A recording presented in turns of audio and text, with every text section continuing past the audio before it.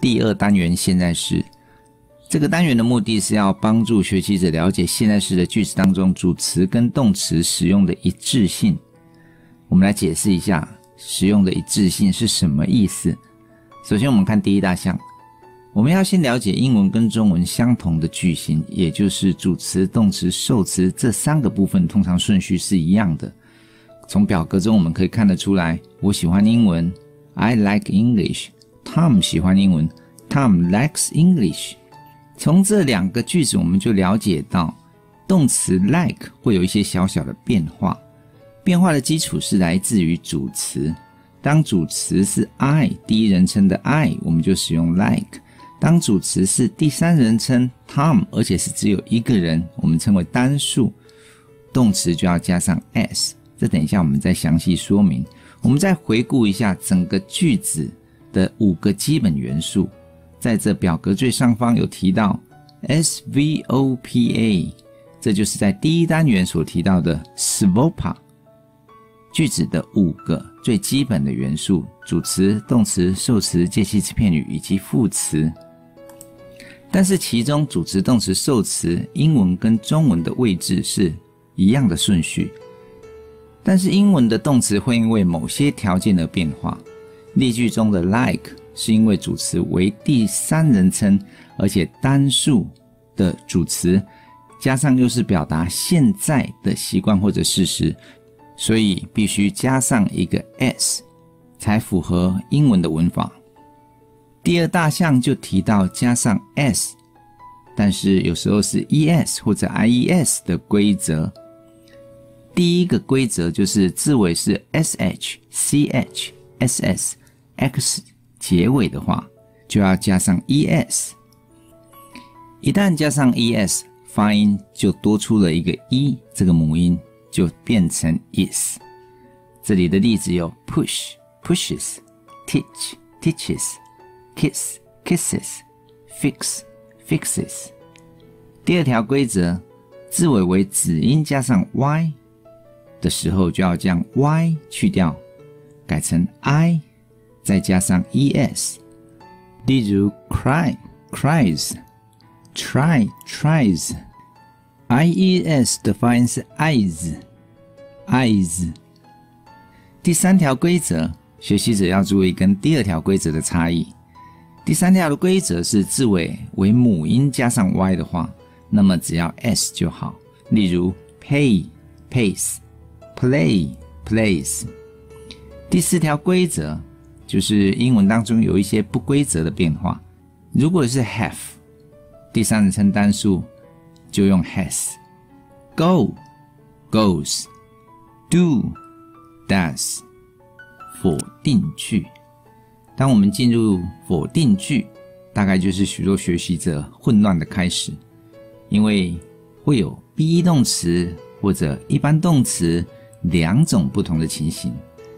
许多初级的学习者在这个阶段，因为没有弄清楚，就会开始觉得英文的动词变化真的好困难。其实就是记得，be 动词也是动词，一般动词也是动词，所以都放在 SVOPA。我们在第二单元跟第一单元都有提到的基本句型结构当中的 V，也就是动词的位置。可是会因为 be 动词以及不是 be 动词而有一些小小的差别，把这个差别弄清楚就可以了。所以这个单元的目的就是要了解现在式句子如何形成否定，以及 be 动词跟其他动词否定句形成的差异。我们来看第一大项，英文与中文的相同句型，在否定句的部分，只要是 be 动词，英文跟中文的句型是相似的。句型一，主词。动词补语，先前我们都说主词、动词、受词，这里我们说补语。补语的意思就是要补助说明主词的特性。例如这里的例句：Mary 不是一个好学生。Mary is not a good student。这里的 a good student 或者 not a good student 就是补助说明 Mary 这个主词的特性。再看一个例子。I am not a good boy. A good boy 或者 not a good boy 就是补助说明 I 这个主词的特性。They are not beautiful. Beautiful 或者 not beautiful 就是补充说明主词 they 的特性，也就是补语的功用是用于补助修饰主词，所以就称为主词补语。补语通常是形容词或者名词，用以让读者或者听众进一步获得主词的资讯。换句话说，当我们使用补语的时候，动词通常是 be 动词。那如果使用 be 动词的话，要否定 be 动词，只要在 be 动词后面加个 not。下面一个句型，句型二就不太一样，也是主词动词，可是后面接的是受词，也就是我们所谓的一般动词的模式。我们来看例句：我不喜欢数学，I do not like math，或者缩写 I don't like math。跟第一句型最大的不同就是，动词使用的并不是 be 动词，而是其他种类的动词。比如说，这第一个例句使用的动词是 like。Be 动词的否定只要在 be 动词后面加 not，可是不是 be 动词的否定必须要使用一个助动词。这边所使用的助动词就是 do，在 do 后面加个 not 就可以否定动词 like，就变成不喜欢。所以，I do not like math。第二个例句也是一样，只是主词是第三人称单数。当主词是第三人称单数，使用的助动词就不是 do 咯，就是 does。所以，Tom does not like English。Tom 不喜欢英文。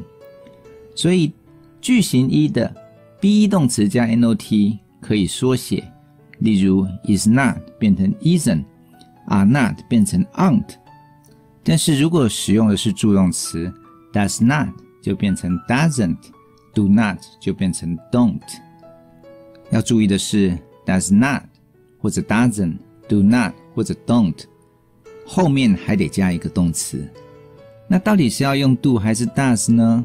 请看注意事项：助动词 do 或者 does 是以主词来决定的。当主词是第三人称单数。也就是 he 或者 she 或者 it 所代表的名词的时候，例如 Tom、Marry、a dog，助动词就是 does，否则助动词就是 do。第二个要注意的是，do 或者 does 本身也是动词，所以如果动词是 do 或者 does，否定的时候要特别注意，看这下面两个例句。I don't do housework。我并不做家事。She doesn't do housework。她不做家事。许多初学者因为写了 don't 就忘记他要写 do，因为他以为 don't 就是不做，doesn't 就是不做，可是忘记写后面的 do。更要注意，doesn't 后面的 do 是要用动词原形，所以不要说 doesn't does，而是 doesn't do。Yes/No 问句。中文的疑问句的形成很简单，只要在句子后面加个吗就可以了。但是英文的疑问句稍微不同，主要是在于助动词的使用。我们来看下面这个图表，如果一个句子是肯定句，而动词是 be 动词，You are a coffee lover，你是咖啡爱好者。要把这个句子变成 yes/no 问句。疑问句只要把 are 拿去前面，所以我们可以说 be 动词本身也是助动词。我们只要说 Are you a coffee lover？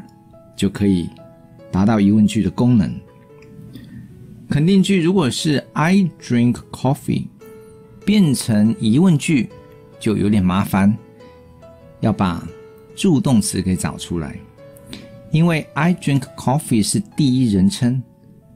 不是第三人称，所以要使用的助动词就是 do，跟否定句一样，I don't 的 do，把 do 拿到句子的最前面就形成 yes/no 问句，所以 I drink coffee 变成 yes/no 问句，你喝咖啡吗？Do you drink coffee？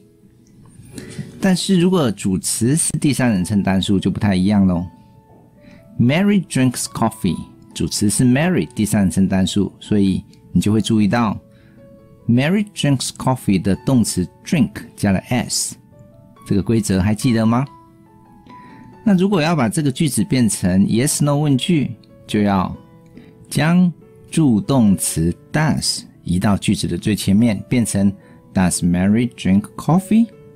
可是要注意哦，把 does 拿到最前面，也就是当我们使用的助动词 does。不论是否定句的 doesn't 或者疑问句的 does，那么动词就不需要再加 s，我们用所谓的原型。所以 Does Mary drink coffee？Drink 不加 s。如果是玛丽不喝咖啡，Mary doesn't drink coffee，drink 也不加 s。所以我们来看一下注意事项。第一点。助动词的出现跟第三单元否定句形成的时候，助动词应用方式一样的。当主词是第三人称单数，助动词为 does，否则就是 do。将助动词挪到句首，就形成了疑问句。可是当动词是 be 动词的时候，因为 be 动词本身也是助动词，所以将 be 动词挪到句首，就可以形成疑问句。第三个要注意的点，就是要去注意到底是要用助动词 do 还是 does。只有第三人称单数用 does。学习文法是为了造句，造句是为了表达想法，让你全文英语缩写表达想法的课程，超凡远距全文输入输出训练，B N Language dot blog。